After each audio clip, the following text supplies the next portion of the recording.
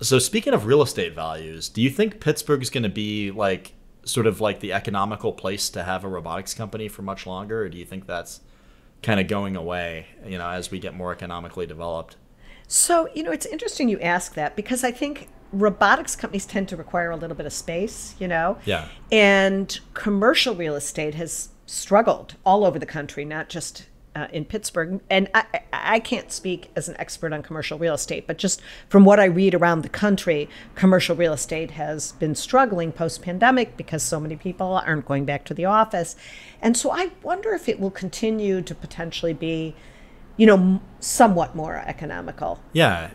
It, I think you might be right. It, it's interesting though, because I, I have some friends that are, you know, founders and, um, you know, they, they've told me about some of the real estate deals they've gone through where like they'll be looking at warehouse space in an inexpensive part of town, maybe a little underdeveloped. Um, like I, I, had a friend that was looking at, I think it was the, um, I want to say the Fort Pitt Brewing Company in Sharpsburg, if that's the right one, mm-hmm. but I might have the, the name a little bit off. Um, but when they found out he was had a robotics company, um, like the cost per square foot went up almost by a factor of three.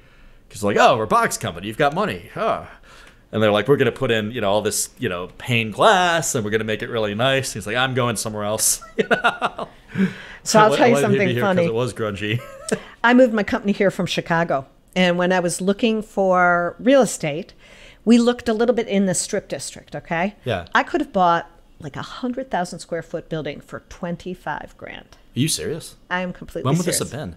This was, uh, let's see, uh, I was pregnant with my third kid, so 1996. That's wild. Yeah. So the strip district now, for I mean, that would be like in the millions, I would think. Right. Yeah. Now, I'm going to tell you, you would have put hundreds of thousands or maybe even a, a million, I don't know, in those dollars, probably hundreds of thousands of dollars in in improvements. It wasn't in great shape. Yeah. It had been some kind of distribution warehouse. Five grand. I know, right?